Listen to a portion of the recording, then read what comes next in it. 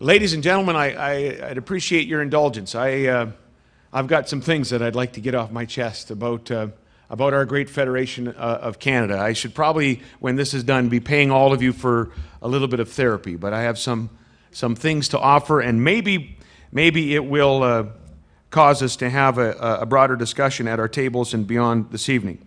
I want to talk tonight about the West, its history and confederation and the continued disparity between the region's economic power as it exists today and the political influence we have in our confederation.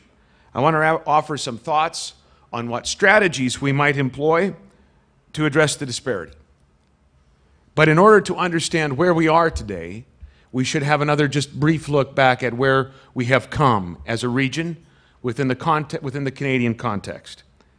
Central to that story is one of the most fascinating yet virtually unknown actors in Canadian history. He's buried not far from here. His name is Sir Frederick Haultain. Academics call him the forgotten father of Confederation. In the year 1900, Haultain drafted a bill to create the new province of Buffalo, which would be made up of present day Saskatchewan and Alberta together, coming into Confederation as one. Two years later, the Laurier government rejected that notion. In the dry understatement of writer Derek Hayes, quote, Prime Minister Wilfrid Laurier, concerned that so much Western power would overwhelm central Canada, opted for two equal sized provinces divided at 110 degrees west. And so the pattern begins. A pattern that has led some rational people living in the West to mount a reasonable case that the economic and political interests of this region have and always will be, and, and, here's where I think we make a mistake sometimes if we subscribe to this, but always will be subordinated to the larger interests of other important parts of our country, other important regions of our country. Some might argue this is simply a matter of numbers. As you say in one of your recent foundation reports, unlike the 13 million people in Ontario, uh, 10 uh, Uh, million Westerners are dispersed among four separate provinces. Others would say it's not just numbers, but it's an inherent bias. It's routine subordination of our interest written right into the DNA of the BNA and what would follow from that. Some would say, perhaps quite correctly, it's just simply a product of what is a de facto unicameral government in our country. Really, one effective House that is exclusively representation by population. And so, therefore, quite fairly, many would argue, there is going to be that disproportionate influence for those areas of, of greater population. Whatever theory Westerners may subscribe to, if any at all, you can point to some early manifestations of that bias in for example, the national policy of John A. Macdonald, a policy designed to be a catalyst to development of a robust manufacturing base in eastern Canada, but a policy whose effect at the same time was a West stifled through high tariffs designed to artificially shore up that infant manufacturing base. Remember the words of, of the greatest Canadian, in my view, and not the one that was voted recently on CBC. Uh, John A. Macdonald, who, you know, obviously I may have some differences with, res with respect to his perception of the West as it was over 100 years ago, but consider what he said. He said, The opening of the prairie lands, this is March 27, 1865, the opening of the prairie lands would drain away our youth and strength, our youth and strength, meaning central Canada. I am perfectly willing personally to leave the whole country wilderness for the next half century, but I fear if the English do not go in, the Yankees will. And so there are early manifestations of this. Some would say you're not really paranoid if everyone really is out to get you. there are other examples, less or more egregious, perhaps, depending who you talk to.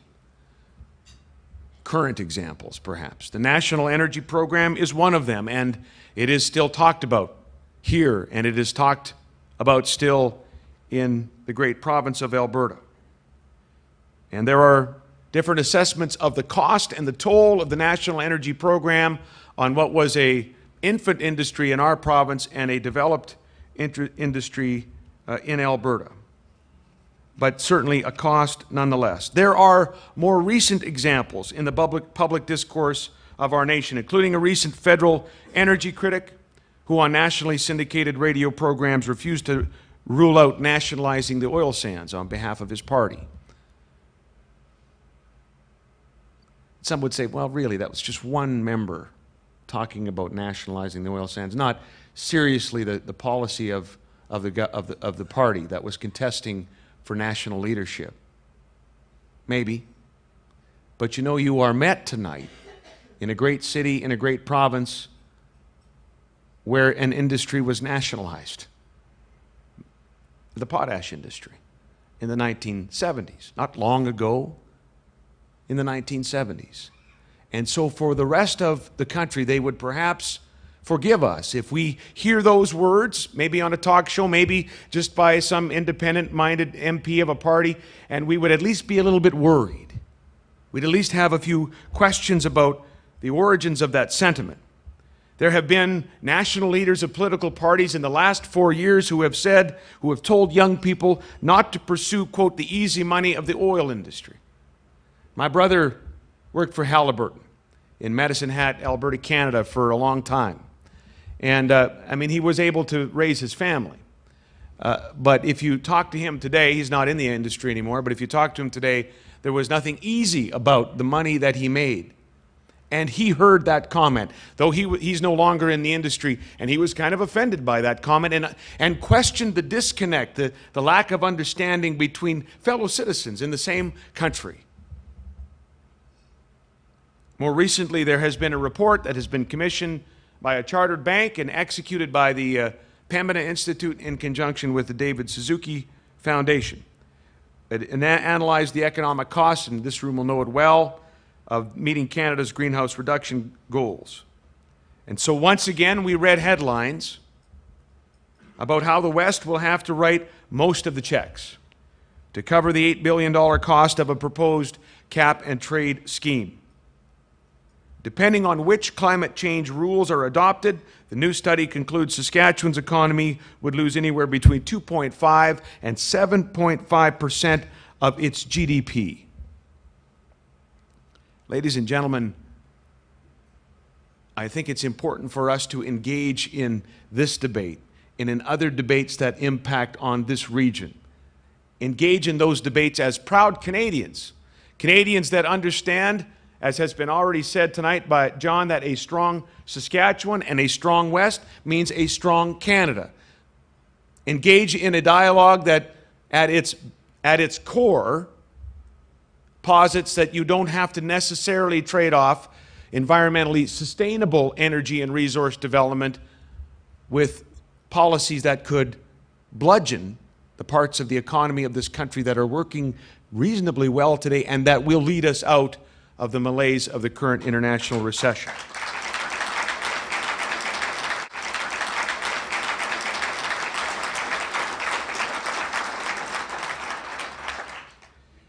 So there may be an ever increasing measure, certainly, of Western prosperity that is becoming known to more and more people on the continent and in, the, in, in other parts of, of our country. The disconnect between this region's economic might and the measure of national political power and influence also is growing.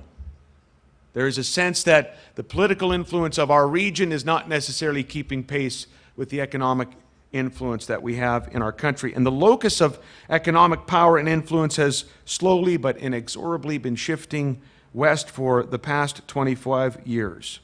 The locus of political power, however, and influence remains stubbornly fixed in that Bermuda Triangle. Toronto, Ottawa, and, and maybe Quebec City is the other point in that triangle.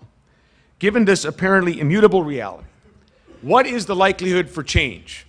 What is the source of hope that we would have uh, in this room then? That